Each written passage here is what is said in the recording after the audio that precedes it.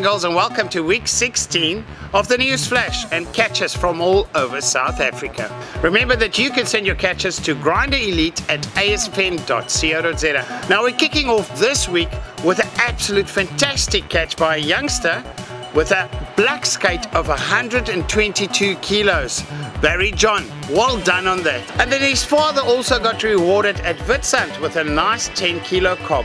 Next up we're joining Lawson Manilal another youngster and his 30th grey shark this year already and this being the biggest one well done on that.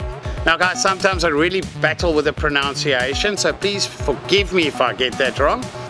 Next up Shahis Khan with a 40 kilo hammerhead he caught in the Transkei using his BG50 then one of Jerome's friends got stuck into a 30 kilo hammer a nice cob using his Poseidon HMG then guys, we're joining Harry Milan with a nice 7 kilo cob using a chokka bait at the Kei River mouth, Eastern Cape.